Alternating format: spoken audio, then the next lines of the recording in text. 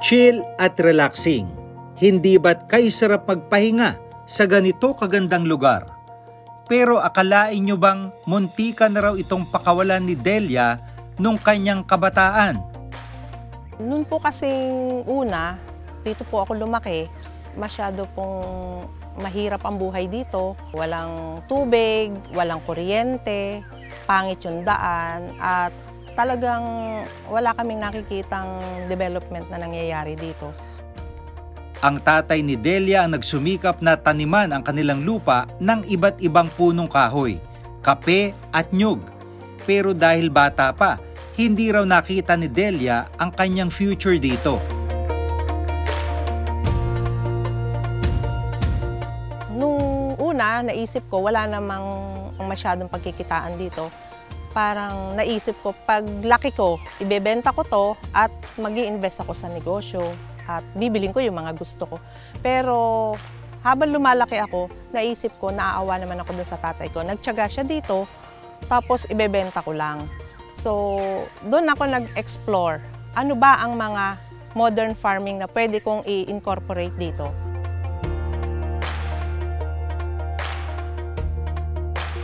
To make her papa proud, umattend si Delia ng iba't ibang training at seminar on farming.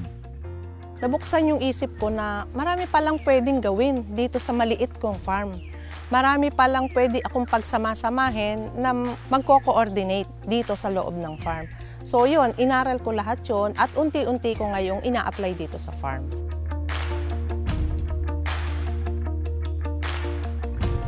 Section by section, unti-unting dinevelop at kinonvert ni Delia ang munting taniman ng kanyang tatay. Ngayon, meron na siyang iba't ibang high-value crops at mga livestock. So pumili na lang ako ng mga hayop na hindi mahirap i-maintain at kung ano yung mga uso ngayon. Kagaya ngayon, ah, medyo dumatapos yung ASF ng baboy. Nag-alis ako ng baboy, pinalitan ko siya ng rabbit. Mas healthy kaysa baboy. And then, wala pang proven na sakit na mga pandemic din na nararanasan ang rabbit. Trial and error. Kung hindi pwede, alis muna. Iba naman. So marami akong tinry dito talagang negosyo na sabi ko, matagal yung ROI o kaya minsan, syempre may mga failures din. Maraming failures talaga sa simula. And then, unti-unti nare-refine. Going organic rin sila rito, kaya ang kanyang pananim at alagang hayop kailangan may symbiosis. Yung aking mga livestock, yan yung pinili ko kasi yan yung nagbibigay sa akin ng magandang organic fertilizer. Kagaya ng manure ng manok, meron akong African night crawler, doon ko inilalagay yung mga manures ng aking mga livestock para i-produce naman niya into organic fertilizer. And meron din akong stingless bee na siya namang tumutulong para naman doon sa pollination ng aking mga vegetables.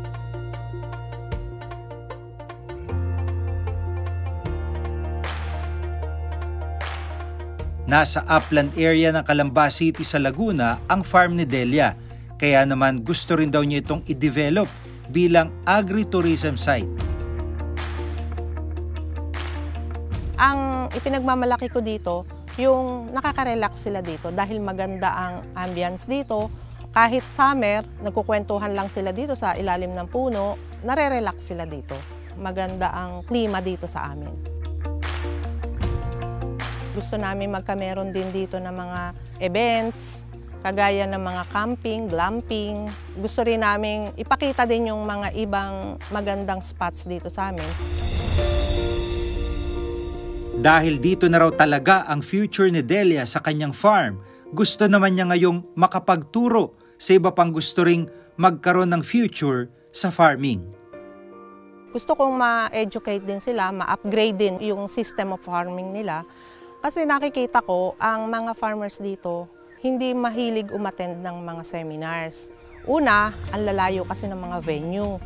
Kaya gusto ko rin na makapag-develop ako dito ng training center, which is nasimulan ko na yung accredited learning site ng ATI.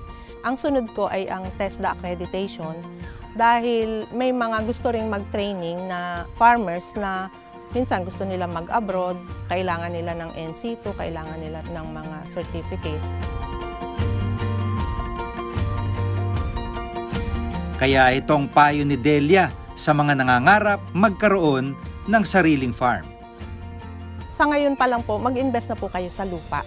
Mag-invest kayo ng mga trainings din. Mas maganda nga ngayon eh, kahit sa internet, maraming ino-offer na trainings. Explore nyo lang po at kailangan po talaga ay tiyaga.